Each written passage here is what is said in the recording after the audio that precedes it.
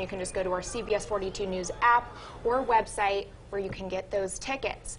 And Mom, earlier I was asking you if you've seen that holiday classic. I went ahead and got us tickets. Oh, are you going? I'm going. Oh, fantastic.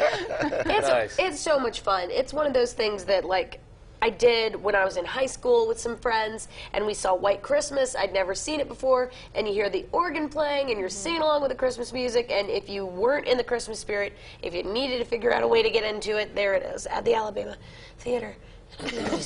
She's so gonna hoarse. have She's talking about I it. got so excited, yeah. enthusiastic that. Yeah. Yeah, but just what Christmas a way, spirit took my especially I think it's cool when they play something like Elf, where it's a mm-hmm. modern day, kind of contrasted with the historic venue. So just a great time. Get out and celebrate the magic. It's a wonderful life. There you go. Yes.